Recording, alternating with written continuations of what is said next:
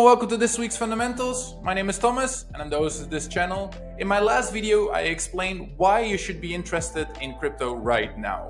So before you watch this video, please watch that one.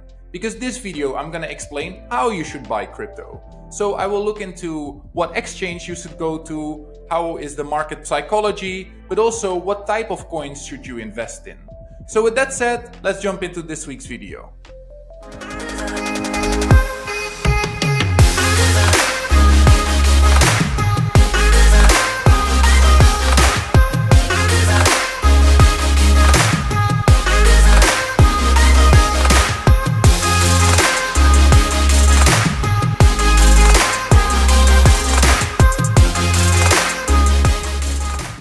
So I want to start off with the mindset and the market knowledge, and more specifically, the market psychology. Because in order to be profitable and successful in this market, you need to be part of the 10% and not the 90%. You shouldn't follow the crowd. So what you should do is you buy when nobody is interested, but you are interested because you did your research. And you should sell when people become greedy, when everyone around you is in crypto, it's all the time on the news, and even random people come to you like, hey, should I buy? Should I invest? Maybe this is a good idea. So you really need to find the right moment to get in and the right moment to get out.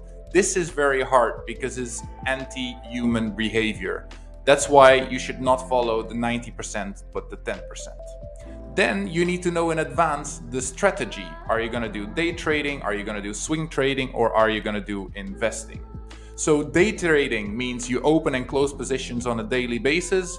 Swing trading is more or less on weekly or a monthly basis. So it means that you buy and sell and hold it for a week or a month. And investing is really that you invest for a long term. So one year, two years, three years.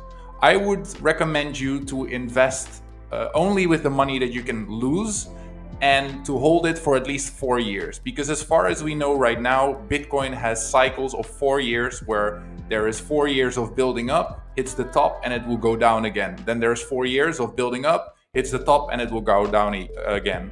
So I really recommend you to hold at least four years. Then I want to make you aware of scams. So when it's too good to be true, it's mostly not uh, correct. So there is scams of doubling your money, meaning you send your money to a wallet and they send you double back. This is an old scam, but this trick still works for newcomers. Then also watch out for fake founder and CEO videos. There is live YouTube videos uh, that are copied from the uh, original owner and it seems to be live, but it's not. So please be aware with scams. Then there is a bull market and a bear market. This is something that you psychologically have to deal with. So there is times that you're losing money and there's times that you're winning money. The main rule is as long as you haven't sold yet, it means that you haven't had a loss yet. So you have to be able to deal with 20% up and 20% down as well because actually holding when it goes down is the best way to learn how to invest. Then there is paper hands versus diamond hands. So the paper hands are people that immediately when it drops 10% they sell out then a loss, but they just don't want to bear the risk anymore. The diamond hands, if you see that, it means that people are holding long term. Even if the market goes down 40 to 50%, which I've seen with my own eyes, seeing my investment going down 50%, that is when you learn how to deal with your emotions. And then HODL is actually just buy and hold it forever. That is another strategy. Then here you can see the market cycle. So it first takes off, then you have the first sell off, so people sell. This is called the, the bear trap, meaning that people actually expect the market to go down. Then you have media and attention, you have enthusiasm, and you have greed. There's multiple uh, strategies that you can follow as the fear and greed index. You should look into that. You can find it on uh, Google. Then there is delusion, uh, then when there is delusion, there is denial. People think the market goes up forever. Nothing goes up forever. Everything has a beginning and an end. Then you have the bull trap, which is actually the last moment you could actually uh, sell, and then we go down. So it's really important that you understand in what part of the market we are, because it's very easy to see when the market is greedy and not sell because you think you can see, even make more money. So to the next one, what exchange to choose? So how do you choose what exchange works best for you?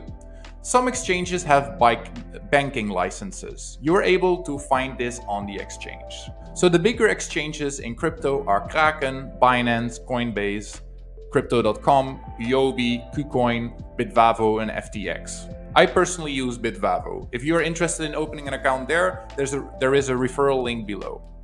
So next to it, it's wallets. So you have wallets on the exchange because the moment you buy a cryptocurrency, it means that you automatically have a wallet within the exchange. You don't have to do actively anything for that.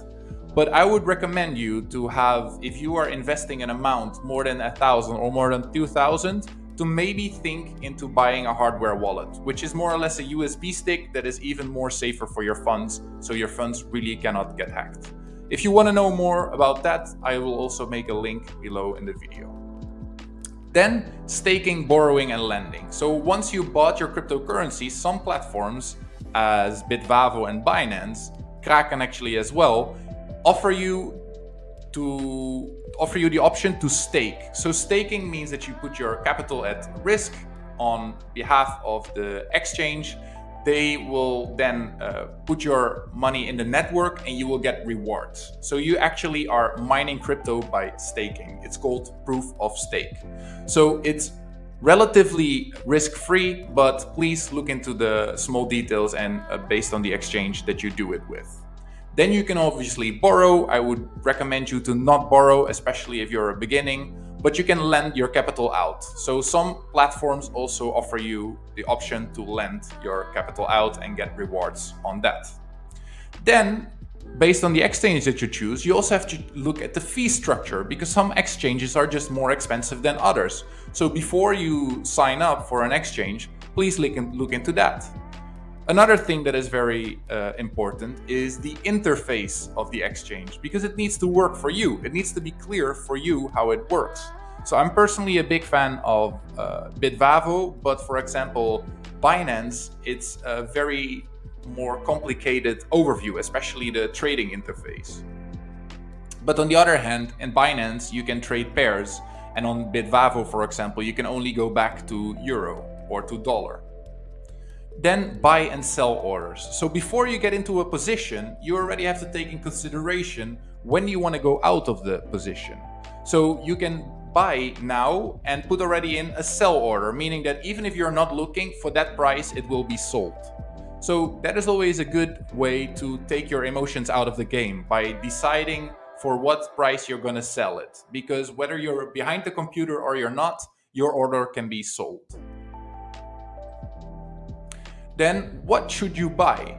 So the first and most logical step what people do is buying a little bit of Bitcoin. So putting some skin in the game as they say. So Bitcoin versus altcoins. Bitcoin is just the longest existent, it's like the mother of cryptocurrencies and altcoins are alternative cryptocurrencies. So that's where it stands for.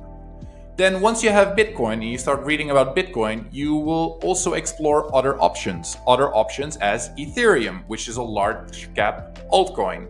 With Ethereum, you actually also invest, because Ethereum is its own blockchain with smart contracts, you actually invest in a basket of other currencies as well. You invest a little bit in NFTs because there's a lot of Ethereum. You invest a little bit in Chainlink, Uniswap, Aave, MakerDAO, and Axie Infinity. Because Ethereum is actually the main driver of these protocols. So by owning Ethereum, you're already owning indirectly in the other protocols. Then we go to medium cap altcoins. So what medium cap stands for is capitalization, so bigger markets. So there is other blockchains as Cardano, Solana, Enjin, VeChain, Polkadot, and Chiliz. I made videos about those and I will also add them in this video below so you can learn more about them. What do they do? Then there is low cap altcoins. These are more risky, but also more rewarding. So these are the coins that sometimes go 300 or 3000x but you just need to be very good at finding these. I'm personally not very successful in finding the low cap altcoin gems, as they call it. Then you have the meme coins. These are very much a dangerous area because these are very easy in pump and dump, meaning they go up and down very quickly and very rapidly. Meme coins is purely community driven coins. So as long as people keep buying, the price will go up. As long as people keep selling, the price will go down. but they don't really have a, a, a value in the back of it. So this is my small and fast introduction into how you should buy and where you should buy your cryptocurrencies. If you have any questions, please leave any comments below. If you have any recommendation, also leave it below. And if you like this video, please like and subscribe and put the notification bell on. And I hope to see you in the next video. Bye.